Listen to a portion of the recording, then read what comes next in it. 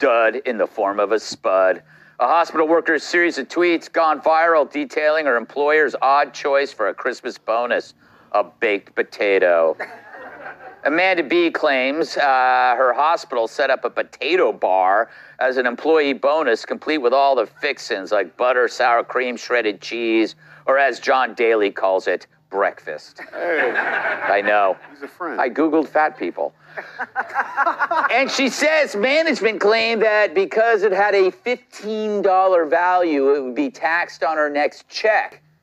So where are you buying a $15 potato? They're only $10 at Neiman Marcus.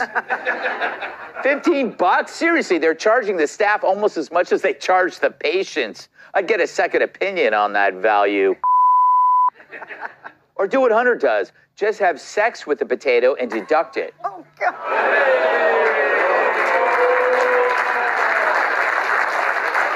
Yeah.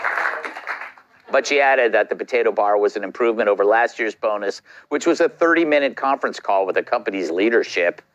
But hey, maybe 15 bucks for potato ain't bad. CNN paid way more for theirs, right? Never over. Kat, do you think this is real? See, I thought it might be, but then she took it a little too far. Mm. In the replies, somebody said, Can you opt out? And she said no. so is this a mandatory potato bar?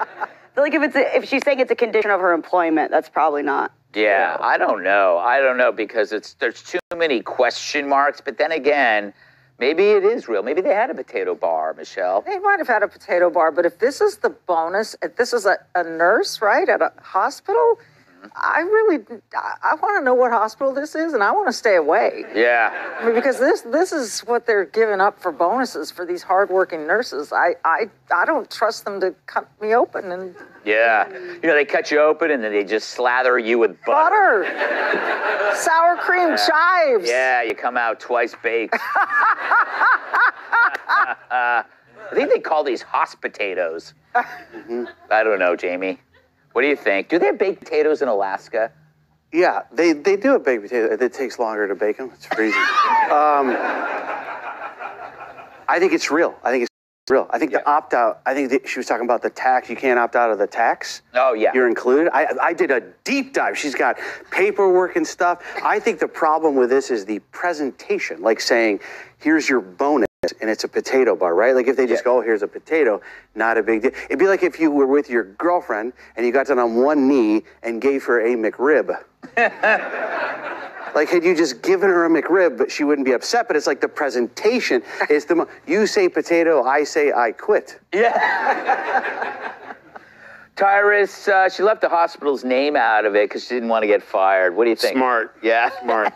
Listen, I think what happened was is they the the bonus was they had the potato bar. Mm-hmm. They brought a potato bar in for everybody. Yay! And so if you whether you take one or not, everyone's getting charged a little bit. And Right. I have seen that. Like usually it's an open bar, but in this case it's a potato bar.